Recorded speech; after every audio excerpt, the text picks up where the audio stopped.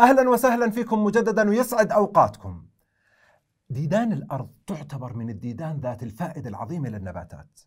وتوصف بأنها محاريث طبيعية للتربة من خلال الأنفاق اللي بتحفرها داخل التربة. أيضا بتزود التربة بالأسمدة الطبيعية من خلال فضلاتها. الديدان أو ديدان الأرض بتنتمي لقبيلة الحلقيات. فخلونا نشوف التركيب الجسمي العام للحلقيات. اولا من خلال الاسم جسمها مكون ومقسم إلى حلقات أو عقل. بتفصل بينها حواجز وهاي الحلقات أو العقل بتكون متشابهة تقريبا. تمتلك تجويف جسمي تجويف جسمي حقيقي مملوء بسائل. هذا السائل يؤدي وظيفتي النقل ودعم آه، الجسم زي ما كيف ما نعبي بالون بالماء بيعطيه نوع من الدعامة. ننتقل الآن للحديث عن مجموعة أجهزة فيها. أول شيء نبدأ بالجهاز الهضمي. تمتلك قناة هضمية كاملة. تبدأ بالفم ثم البلعوم ثم المريء ثم الحوصلة ثم القانصة بعدين بيجي المعي وأخيرا فتحة الشرج.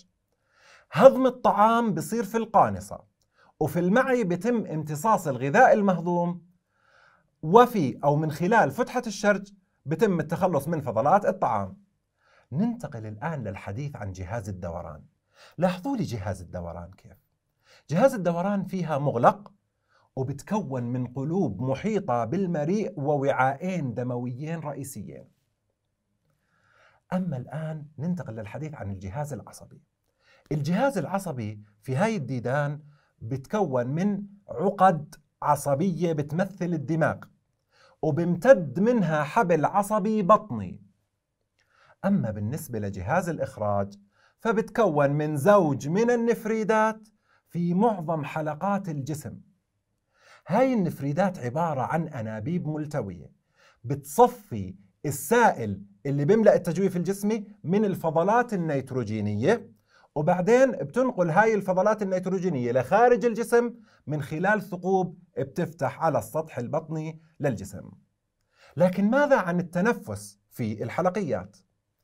الحلقيات بتتنفس من خلال الجلد. نعم؟ آه من خلال الجلد.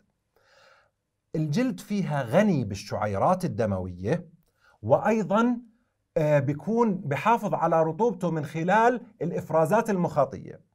الأكسجين بذوب في هاي الإفرازات المخاطية وفي الجلد الرطب وبنتقل بعدين للشعيرات الدموية. أما بالنسبة لل تكاثر فيها فبتتكاثر ديدان الأرض أو الحلقيات تكاثرا جنسيا. هيك بنكون تعرفنا على الخصائص العامة للحلقيات. خليكم معنا في اللقاء القادم لنقفز قفزة في تطور وتعقيد الجسم مع قبيلة أخرى. إلى اللقاء.